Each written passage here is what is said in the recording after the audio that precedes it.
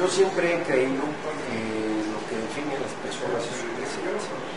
Su presente es lo que le permite dar resultados, construir credibilidad. Y yo estoy enfocado en mi presente.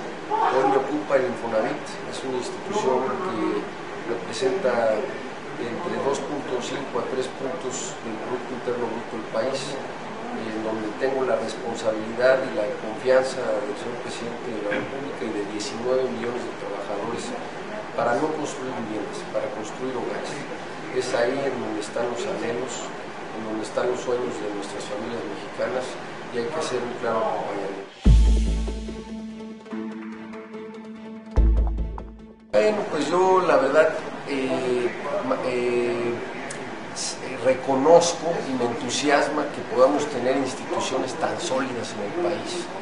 Eh, por un lado la Suprema Corte que le genere certeza a los mexicanos, por otro lado los congresos que también pues activamente generan leyes y pues lo que nosotros tenemos que hacer es pues también abonar a que haya instituciones más sólidas en el país.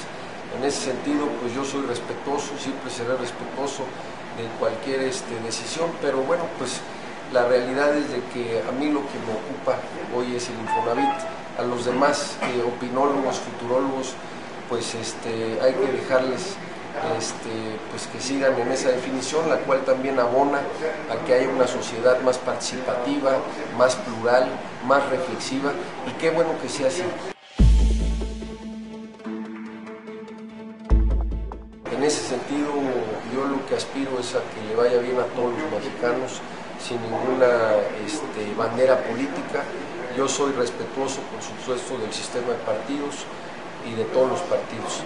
Así que en ese sentido, eh, pues yo lo que más bien opinaría es a que los ciudadanos eh, sigan este, participando, eh, a que se sigan pues capacitando más para que hacia adelante se tomen las mejores decisiones a favor de Oaxaca y del